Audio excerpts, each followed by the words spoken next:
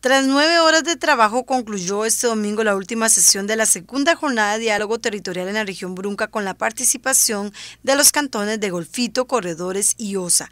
Dentro de las iniciativas propuestas, los representantes de esos tres cantones sugirieron una mayor agilidad para el otorgamiento de crédito bancario oportuno en el sector agrícola, flexibilizando las condiciones principalmente para jóvenes y mujeres productoras locales.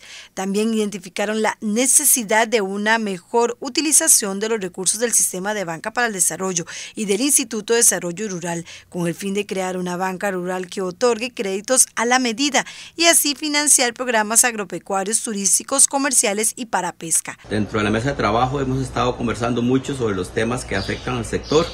Principalmente hemos notado que este, todos coincidimos de que el sector de financiamiento, el sector agropecuario es el que ha afectado la reactivación de, este sector, principalmente eh, con recursos de banca de desarrollo que son de difícil acceso por parte de la mayoría de los productores. En esto, eh, aunque sabemos que hay suficientes recursos para este sector, lamentablemente este, no ha habido manera de que estos eh, recursos lleguen directamente a los productores. La reactivación económica va mucho en función al financiamiento en capital de trabajo, en compra de equipo, en fertilización y en poder comercializar los productos de esta zona. Otras necesidades planteadas destacan la solicitud para aplicar el cumplimiento de la legislación vigente para el sector pesquero, así como un mayor control y vigilancia en zonas de pesca, esto por parte de entidades afines como Incopesca y Guardacostas, y un mayor ordenamiento en las zonas marítimo-terrestres. El sector pesquero dominicalito ha estado muy abandonado por las diferentes instituciones, eh, tanto como por Guardacostas como Incopesca.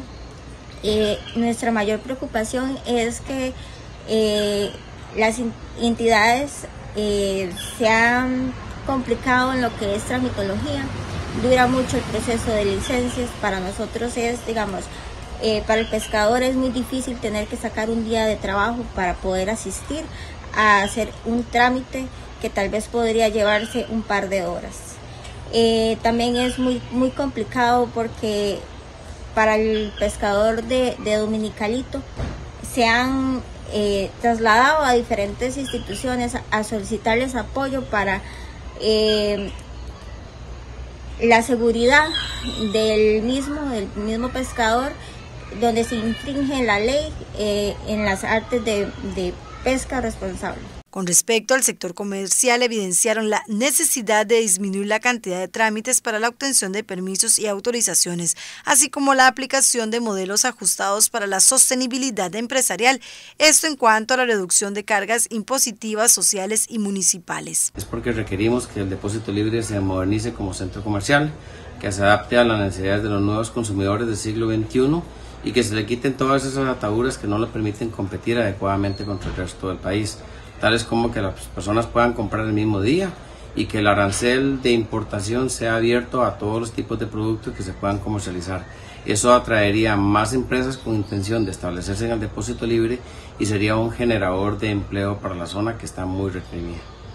En Bahía Draque necesitamos reactivar el turismo ya que somos una zona 95% de turistas y para eso necesitamos publicidad, dar a conocer Draque como un lugar turístico.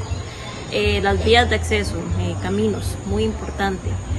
Em, publicidad y, ojalá que todo lo que vaya en el papel que mandamos en estas propuestas realmente lo tomen en cuenta, lo lean y se sientan y, piensen en nosotros los que vivimos del turismo. Lo otro muy importante es volver a hacer que Corcovado tenga guiado obligatorio. Considero que uno de los grandes problemas que tiene el cantón de Golfito es el desempleo. Considero que el ordenamiento territorial es una de las prioridades que se debe tomar en cuenta. Llámese planes reguladores de zona marítimo terrestre, la reserva forestal Golfo Dulce y bueno, hay temas aquellos que tienen que ver con patrimonio natural del Estado. Básicamente creo que convergen eh, esos problemas y la, eh, temas de infraestructura, eh, tanto en portuaria, eh, terrestre como aérea, porque considero que el desarrollo de la infraestructura o, una buena infraestructura en la región trae desarrollo a las comunidades. Cabe indicar que este diálogo se hizo bajo un esquema de ocho mesas de trabajo. Diversos sectores como turismo, asadas, asociaciones de desarrollo integral, mujer, agropecuario, pesca y comercio, entre otros, estuvieron presentes.